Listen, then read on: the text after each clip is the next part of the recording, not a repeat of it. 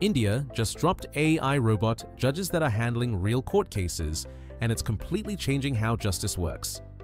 These aren't just fancy calculators. They can process 50 million pending cases using AI that reads legal documents, analyzes precedents, and delivers verdicts for minor crimes in real time. Here's the wild part.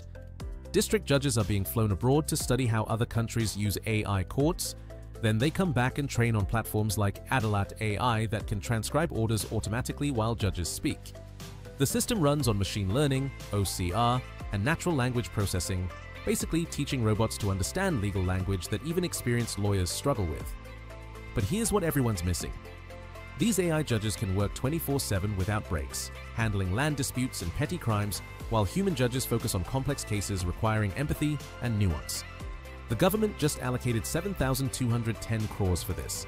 They're not just testing it, they're scaling it nationwide. Would you trust an AI judge with your case?